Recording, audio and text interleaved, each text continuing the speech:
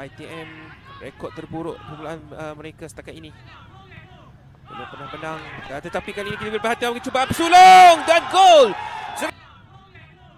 Belum pernah menang. Tetapi kali ini kita berperhatian bagi cubaan bersulung dan gol. Tangan awal minit 28 dari Amirul Syafiq Cik Soh berjaya melepaskan satu rebatan leret, satu tempat placing yang cukup menarik. Tertewas Ramadan Abdul Hamid. Saya baru ingin memperkatakan fakta-fakta menarik dalam perlawanan ini tetapi Kelantan United tidak mahu menunggu lama. Lima hantaran dari Alif Najmi sekarang ini dari sebelah kiri. Faisal Rosli juga naik untuk membantu serangan. Masih di kawalan Faisal Rosli. Jacob kepada peluang untuk Nick Azli. Namun datang lagi sekarang ini dari Masashi Motoyama. Masashi ke sebelah kiri kepada Faisal Rosli. Faisal dalam kotak penalti sekarang ini. Faisal cuba untuk mendapatkan Jacob. Namun uh, dapat dipintas oleh pemain UiTM. Faisal ke belakang semula kepada Fukai. Aizat. Dari sebelah kiri cuba dikejar oleh Amirul Syafiq lepas peluang sekarang ini untuk Kelantan United menambah jaringan. Oleh Amirul Syafiq lepas peluang sekarang ini untuk Kelantan United menambah jaringan. Dan itu dia. Sekali lagi Kelantan United berjaya memecahkan uh, kebuntuan. Kali ini dari pemain yang baru dia baru masuk sebenarnya iaitu Khairul Rizam Cik Soh satu larian solo yang berjaya melepasi kawalan pemain UiTM iaitu Nashran Ilyas sebelum melepaskan satu rembatan dari sudut yang sukar.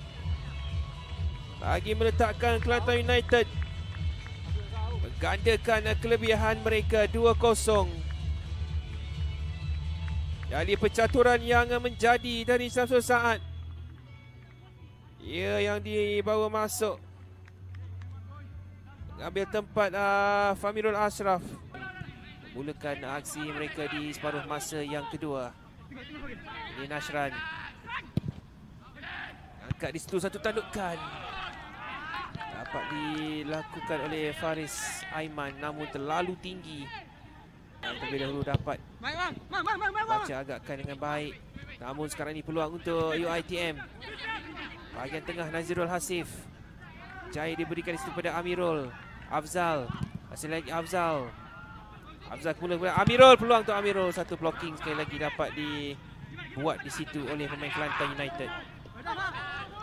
Tidak ada mana-mana gerakan itu yang setakat ini boleh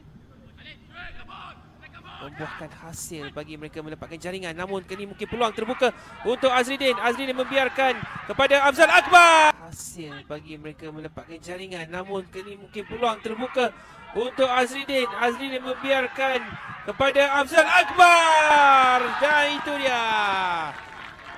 Afzal Akbar pemain jersey 11 UiTM berjaya menyempurnakan peluang satu setting yang cukup baik dari Azridin Rosli. Satu placing yang uh, cukup baik. Sudut yang tepat dicari oleh Afzal Akbar bagi merapatkan curang 1-2. Jadi game on dari Stadium UiTM Shalab. Amirul. Baik oleh Nashran. Nashran dapat melihat larian yang dibuat oleh Rafi dari sebelah kanan Rafi. Evan Wesley cuba mencabarinya Rafi. Peluang untuk pasukan UiTM dapat jaringan penyamaan. Tetapi Asrat Amir Adha